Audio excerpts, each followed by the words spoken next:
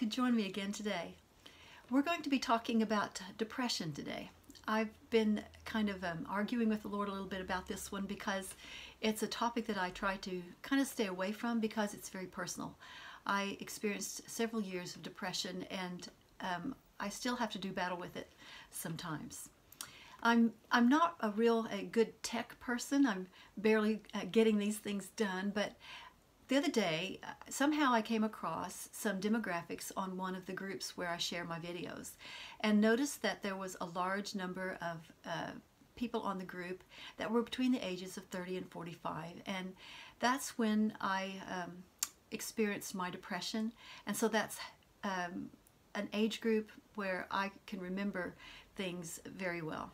And I had to actually giggle because I can't imagine adding, adding COVID-19 to my craziness from that time. And I also remember how I longed for someone to come and, and give me some suggestions, some hope, um, some solutions to the things that I was facing. So we are going to talk for these next several lessons about depression.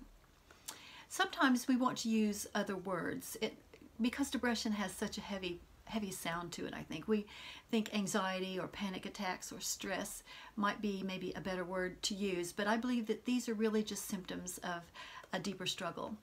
And I'm not putting myself out here as an expert, but just one who's uh, walked the path and has uh, come through it with the Lord, and I'm willing to share what God has taught me through that time. So if you look back at um, my YouTube channel, you'll find that the first two lessons were on anxiety. And these lessons are available in an ebook. They're also available in a paperback called Light That Shines if you wanted to study some more because there are things sprinkled throughout all the lessons about uh, depression and anxiety and these types of things because it is a very real subject to so many of us. When I was struggling with depression, I just kept looking for that, that one key, that one thing that would change me back to what I thought was normal. But what I was really doing was looking for a way out and not a way through. You know, we will talk about keys, um, and we do that sometimes. we will use uh, scriptures and lessons and talk about one, two, three, do this, do that, do this, do that. And those things will help us. But we must remember that depression is a process, and that's how we get the healing. It's not a one and done thing. And as I've grown, I have uh, learned to circumvent this aggravation, to see it coming, and even to ward it off. So today, let's just try uh, starting with defining it. You know, anyone who's experienced depression is going to give you a definition based on their experience, and I would do the same thing. But if someone is a trained counselor, they're going to know that depression can take many forms and it can have a wide variety of causes and symptoms. But I'm going to give you a few indicators, um, and these are not not a, a be-all and end-all list, just a few indicators that depression might be the source or the cause of what's going on. If you are feeling tired without a reason, if you are feeling sad without a reason, if you are hungry when you've just eaten, or wanting to sleep when you've just gotten out of bed, or wanting to escape even though no one is pursuing you, you might be feeling symptoms of depression. Some of these indicators are also true for anxiety and stress and that just that general feeling of uneasiness. Fears, inability to concentrate or make decisions, forgetfulness, uncontrolled thoughts, and many other things come with depression. And we will cover most of these with our, in our visits. But today I want to talk about a couple of scriptures and a way of thinking that God gave me that helped me to come out of my depression. You see, you really just can't stay there forever. It's not a nice place, and God has more for you than perpetual sadness and pity. So go with me to Proverbs chapter 16, verse 32, and I want to lay a foundation for our next few visits.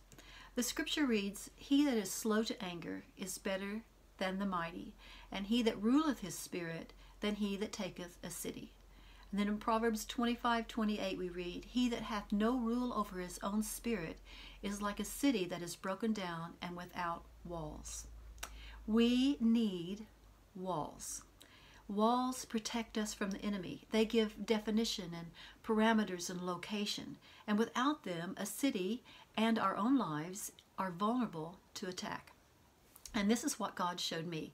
If I cannot rule my spirit, then I am vulnerable. If I can, if I allow anger uh, or any emotion to control me, they weaken me. If I learn to control my emotions, then I gain strength. So when I was uh, in the depths of, of depression, my emotions were in charge. I was up and down, happy and sad, angry and brokenhearted, logical to a fault, and completely and irrationally illogical in my responses and my demands. I knew I was not making sense, and I felt hopeless and helpless to make a change or to rope in my feelings. I could not express them adequately, and I was vulnerable to every wind of circumstance, and I felt like a gray cloud hung over my head constantly.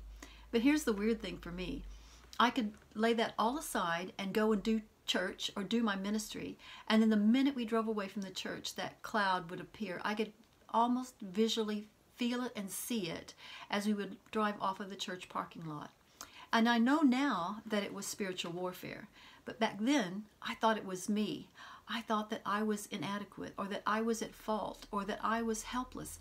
I had no walls. We need walls. I needed really that first wall, that first wall of perspective, and that's the warning wall. It's the wall that has the drawbridge, the one where you can stop the enemy from coming in, the one where the watchman is on top and he calls out that the enemy is attacking. So the first thing is to determine the cause, get your perspective. So why are you feeling like this? Richard Winter, in his book, The Roots of Sorrow, Reflections on Depression and Hope, says, Our perspective on what is happening is vital to our sense of hope. So much depression arises because of loss of perspective. We just don't take time to think about what's happening around us before we act by emotion, and then the actions and the reactions keep going. We see the enemy coming, but sometimes we don't pull up the drawbridge. We hear the warning signals, but we just continue going about our business thinking I can do the same thing it's not and it's going to have a different outcome. That's not true, is it? We hear the warning signals and that is important because that is one of my vital keys now. When gloominess appears, I look to see what's going on. And I've created a little list that you can add to it if you want to. Here's some things that might be going on. Do I have unpaid bills? Do I have a to-do list that's haunting me? Have I lost some sleep? Do I not drink enough water? Am I not eating good food? Is there an unresolved conflict in my life? Am I afraid to face a problem that needs a, re a resolution? Have I received an unexpected criticism? Do I have unconfessed sin? Or am I getting too lazy in my personal life, creating guilt and self accusation? The list could go on and on. But if we ignore these things, if we procrastinate, if we shove them aside, they do not go away. They do not go away. They grow and they gain ground. So, key one is when you hear a warning signal, do something about it. Pay that bill, seek forgiveness, take care of yourself properly, forgive others, confess your sin, and ask for God's help. And every time you do that, you will gain back some of that ground and your wall will get stronger. You, uh, your warning signals will get louder and your drawbridge will get more secure. The key number two is admit that you are depressed. We don't like to say that. We don't like to admit it. When I was depressed, my husband would say, What's wrong? What's wrong? I say, Nothing. Nothing's wrong. Nothing's wrong, but something was definitely wrong. We've talked about people trying to hide their anxiety, so go back and have a listen to those first two videos if hiding is what you're doing, because hiding is a very strenuous job and it will drive you deeper and deeper in depression, not bring you out. And if hiding your depression is what you're doing, it's just giving ground to the enemy, isn't it? And it will not lead you to light. So find a good friend or a trusted person and say, please pray with me. I'm feeling depressed. And then let them ask you some questions and help you find the source and then do something about it. This is the principle of James chapter 5 verse 16. Confess your faults one to another and pray for one another that you may be healed. So confess it. It takes the enemy's power away when you say it out loud and it will give you hope. Share it with that trusted friend and you are no longer alone. So until we visit again, if you're struggling with depression at any level, let's begin with memorizing and meditating on those two uh, verses in Proverbs, Proverbs chapter 16, 32, and 25, 28. And then start visualizing your life as a walled city. And don't worry right now if you've got holes and you've got some crumbled down walls. We're going to work through those together. But right now, just ask the Lord to show you the cause of your feelings of heaviness. And if it is spiritual warfare, then pick up your shield. Charles Spurgeon experienced a lot of depression, and he wrote this I like, in my times of trouble, to find a promise that exactly fits my need, and to put my finger on it and say, Lord, this is thy word. I beseech thee to prove that it is so by carrying it out in my case. I believe that this is thine own writing, and I pray thee make it good to my faith. I believe in plenary inspiration, that means absolute inspiration, and I humbly look to the Lord for a plenary and absolute fulfillment of every sentence that He has put on record. Real faith in God's Word, that's what you need if you're going to wield a shield and a sword.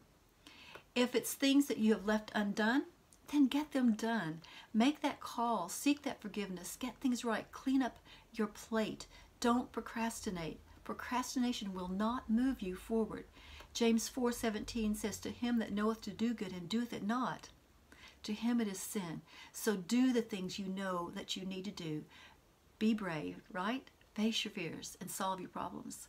And if you're trying to hide your hurts, Find that trusted friend who will pray with you and be honest with them. The fervent prayer of a righteous man availeth much. Pray together for healing. James 5:16. And I'll meet you back here in a few days and we'll keep building walls.